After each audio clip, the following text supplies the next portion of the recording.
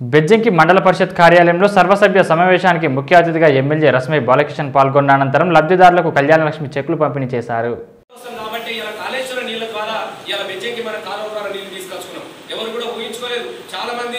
ఇది రాకపోతే చూద్దామని అనుకున్నారు. కానీ వచ్చిన తర్వాత ఇలా కళ్ళు చూడలేని పరిస్థితులు ఉన్నాయి ఇక్కడ కొంతమందికి అయితే ఇక్కడ.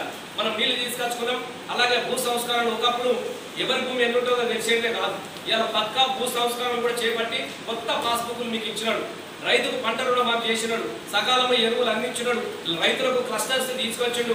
రైతు సమన్వయ సంస్థలను పెట్టిండు. రైతుకు ఏది కావలిస్తే అది ఇస్తా అని చెప్పిండు. చచ్చిపోతే కూడా రైతు ఐదు లక్షల రూపాయలు చేతిలో పెట్టినాడు. ఇవల్ల పెట్టుమన్నటువంటి ఏదైతే వ్యవసాయం ఉన్నదో దానికి ధర ఇవ్వకుండా అయితే మద్దతు ధర ఇవ్వకుండా అయితే మూడు కదా? ముఖ్యమంత్రి చాలా స్వయంగా చెప్పినాడు.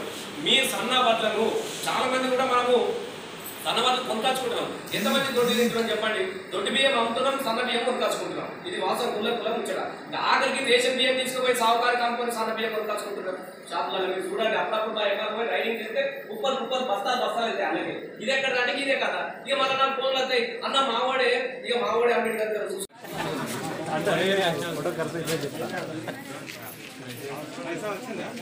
చూసి